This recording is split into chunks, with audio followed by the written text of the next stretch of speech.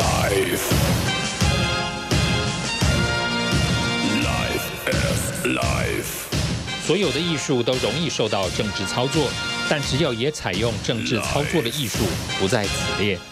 这是一个非常诡异而且疯狂的纪录片。在二零一五年，北韩政府为了庆祝脱离日本统治七十周年，破天荒邀请一支摇滚乐团来到首都平壤演出。这个消息在当时也引起各国媒体争相报道。North Korea, Earth's Florida. Next month is the 70th anniversary of Korea's Liberation Day, the date marking the end of Japanese colonial rule. And I guess the big question is, what do you get the country that is ordered to think it has everything? Well, apparently, Kim Jong un has decided that for the first time ever, a foreign rock band will play there. So, who's it going to be? Uh, Rolling Stones? Uh, U2?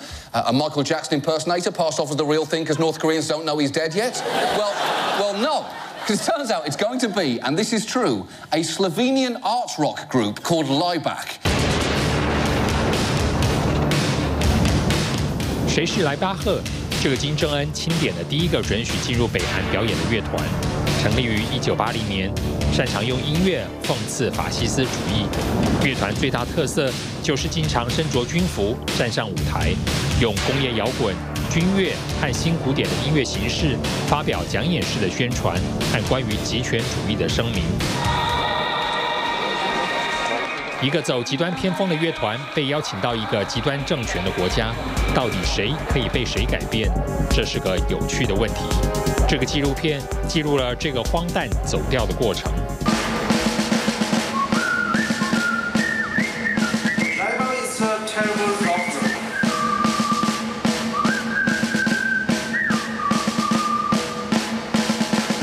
Cannot invite you here. We rise. We grow. He wanted to beat him up, We walk. and, and, and, and so did I. We never fall. We'll have a discussion. Sorry. Biggest the ah, sky. As far as the dawn. We walk. People wanted to just sabotage this and looking for the smallest excuse to shut the whole thing down. 北韩摇滚解放日记录莱巴赫乐团前往北韩演出的完整过程。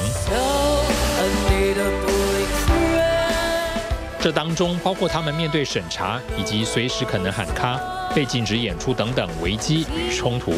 这是史上第一组活着离开北韩的假右派摇滚乐团，跟着记录镜头可以偷窥半遮面的北韩。